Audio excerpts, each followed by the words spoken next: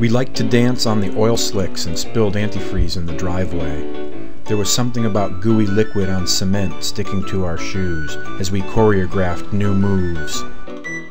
Dancing upon motor vehicle fluids, for us, became a way of life.